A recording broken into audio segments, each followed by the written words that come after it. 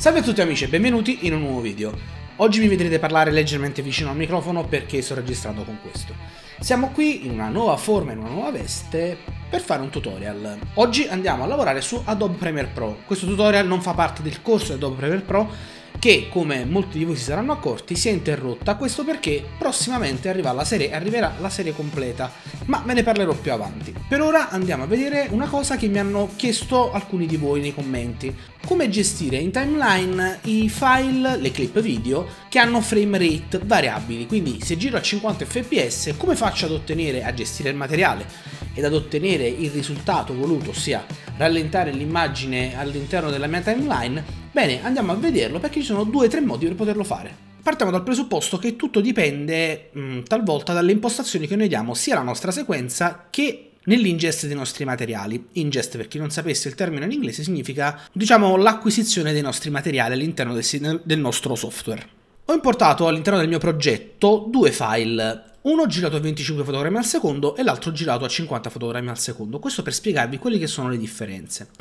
Come vedete non ho ancora creato nessuna sequenza, questo perché lo andremo a fare insieme. Partiamo dal concetto di base, io ho importato come detto due clip, uno a 25 fotogrammi al secondo e l'altro a 50. Qual è il mio obiettivo? Il mio obiettivo quando ho registrato a 50 fotogrammi al secondo era quello di poter ottenere due tipologie di immagini, ossia sia quella che vada a 50 fotogrammi al secondo, quindi in tempo reale, sia 50 fotogrammi al secondo per poterlo rallentare su una timeline a 25. Il concetto da capire è come noi vogliamo gestire il materiale, ossia se il materiale che noi giriamo vogliamo utilizzarlo in playback normale, quindi in tempo reale, lo gireremo con un determinato frame rate. Se vogliamo ottenere dei rallenti, dobbiamo girare con un altro frame rate. Ecco perché utilizzare frame rate variabili. Quindi se noi giriamo un parlato, in questo caso sto girando a 25 fotogrammi al secondo il parlato. Se io un'azione avessi girato a 50 fotogrammi al secondo, potevo rallentarlo. In che modo? Mettendo in play quel filmato a 25 fotogrammi al secondo. Mi spiego che cosa significa. Se io utilizzo una sequenza a 25 fotogrammi al secondo, quindi andiamo su File, Nuovo, Sequenza, e prendiamo una qualsiasi sequenza a 25 fotogrammi al secondo, questa metterà in play 25 fotogrammi al secondo, quindi fa esattamente quello che dice. Quindi se io prendo la mia clip girata a 25 fotogrammi al secondo, in questo caso lui mi chiede di cambiare le impostazioni della sequenza perché la clip è girata in 4K, ma io faccio avanti le impostazioni esistenti. Certo esce il mio faccione che non è un bel vedere, ma andiamo avanti.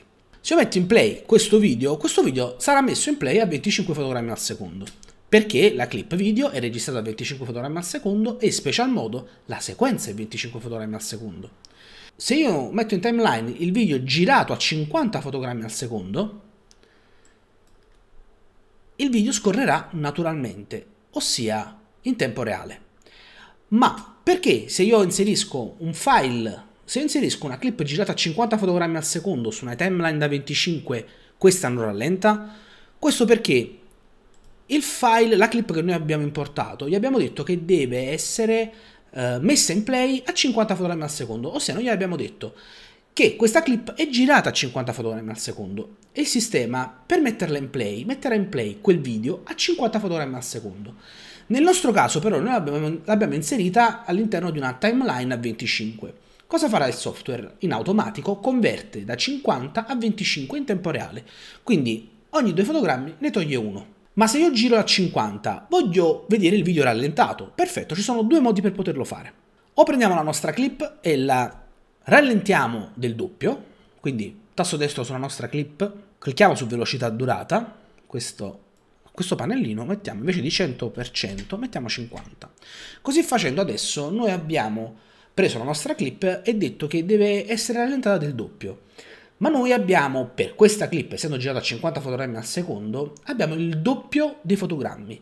Quindi adesso nel momento in cui metto in play, sarà messa in play a 25 fotogrammi al secondo, ma sarà rallentata. Un'altra cosa che voglio farvi notare è che se io prendo la clip eh, girata a 50 fotogrammi al secondo e vado nel monitor sorgente, quindi una volta che ci ho cliccato due volte sopra mi si aprirà il monitor sorgente, se io metto la clip in play questa andrà in tempo reale, perché come spiegato Premiere la riproduce a 50 fotogrammi al secondo, è come se noi avessimo una timeline a 50 fotogrammi al secondo. Quindi non può essere rallentata. Ed infatti, se noi andiamo nel nostro pannello di progetto, dove c'è scritto frequenza fotogrammi, troviamo la voce 50 fps. Questo ci fa capire che la clip è girata a 50 fotogrammi al secondo. E il software la interpreta come tale.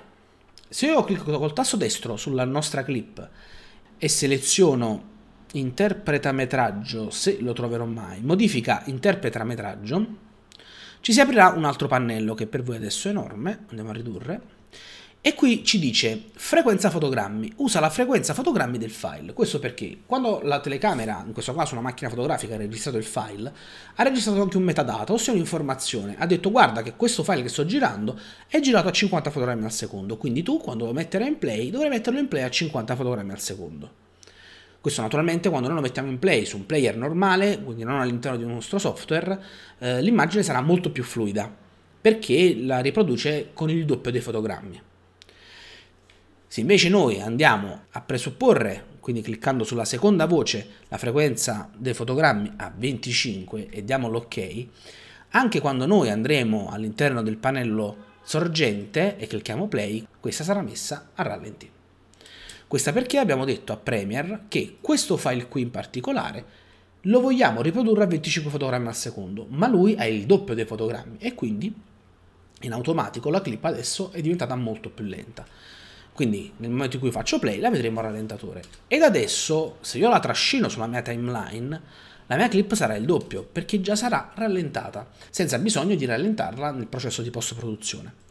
Attenzione, se io in questo momento vado a rallentare ulteriormente la clip, quindi la rallento del 50%, io posso rallentarla ancora naturalmente, ma il processo che adesso avverrà è quello che fa Premiere con le clip girate a 25 fotogrammi al secondo. Quindi ogni fotogramma verrà intervallato da un'interpolazione tra il primo e il secondo e così via, tra il secondo, il terzo e il terzo e il quarto, così da generare il doppio dei fotogrammi. Ma se giriamo a 50 fotogrammi al secondo, di sicuro quello che a noi basterà è raddoppiare la velocità. Insomma, io spero che questo breve tutorial abbia chiarito le idee a chi aveva questi dubbi a come gestire questa tipologia di materiale. Vi do un consiglio, quando girate dei video, normalmente quando giro dei video documentaristici, quindi il mio scopo sarà quello sia di vederli in tempo reale che alcune clip a rallentarle, io giro tutto a 50 fotogrammi al secondo e in fase di montaggio decido cosa mettere in play a 25 e cosa mettere in play a 50.